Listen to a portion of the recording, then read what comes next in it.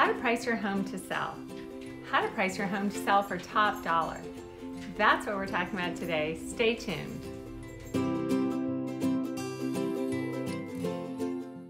Hi, I'm Annie Baker. I'm a realtor here in beautiful Silicon Valley.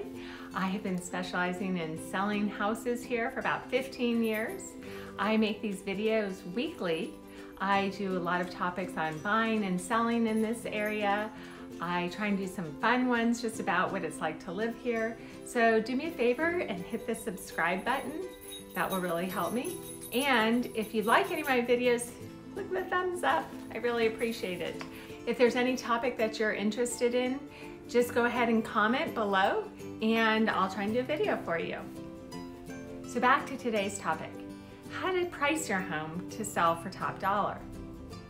Well, a lot of times when I'm meeting with homeowners, they are referring to their, what I refer to as their house, they keep referring it to as their home. Their home, they tell me how long they've lived there, all their memories, And whether it's been two years or 40 years. They're really attached. It means a lot to them.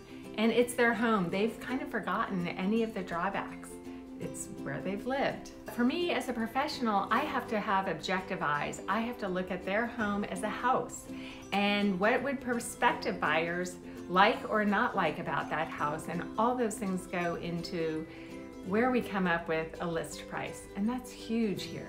Before I even can start doing any of my print marketing or my online marketing, the price has to be the right price.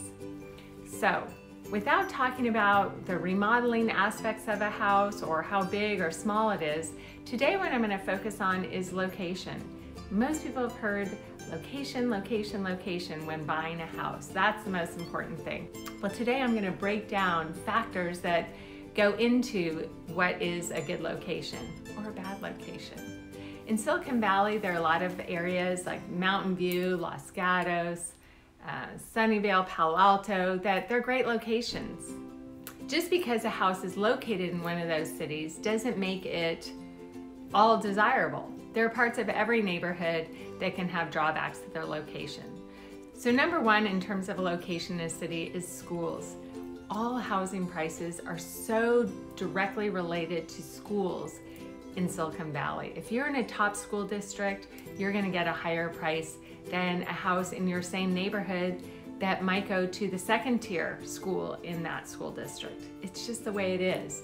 So for example, in Los Gatos, just because you have a Los Gatos address and you live in the same neighborhood as some friends, doesn't necessarily mean you're going to the top Los Gatos schools. You could be in a, a neighboring school district like the Union School District or the Campbell School District, even though you still have a Los Gatos address.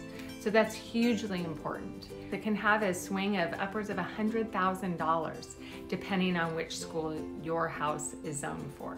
Number two, the street that your house is located on in your neighborhood.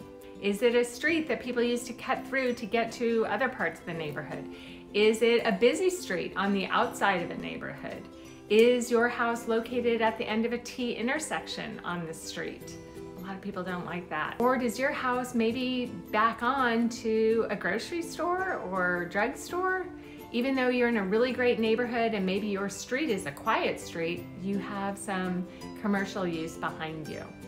So make sure you take into consideration the actual location on a street in the neighborhood.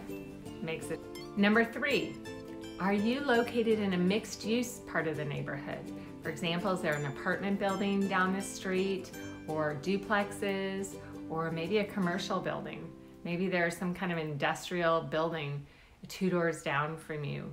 That will really affect how you need to price your house. It's not gonna be as priced as high as this house, almost the exact same house three streets away, but it's on a really great street. Number four, a lot of people forget about this one, but power lines, even if they're just sort of old, like cable lines, telephone pole lines in your backyard, a lot of people don't like to see that. Most people understand if you have the really huge power line structures um, nearby that that's typically a detriment, but don't forget about even just the telephone pole lines in your yard. Most people don't like that. And number five, this is if your neighbor's house is an eyesore.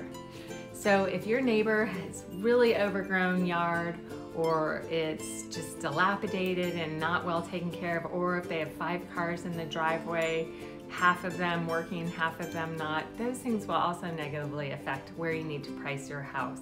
Remember that. Don't just think because your house is almost identical to one that's just sold and it's five blocks away, same schools, same neighborhood, no mixed use, but you have the eyesore next door, you're probably not going to get the same price as your neighbor did. Sorry to say. Anyway, so those are five things to consider and break down about the location of your house. Don't just assume same neighborhood, same schools, you're all good. Think about all those things. So I know it's hard sometimes. You love your house, you love your home, but let me be your objective eyes and help you see some of these things. I want to get the best price for you.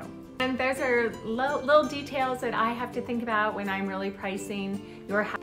It's not just data of the comps and how many upgrades you have. You really have to dig down into your location too. Makes a difference.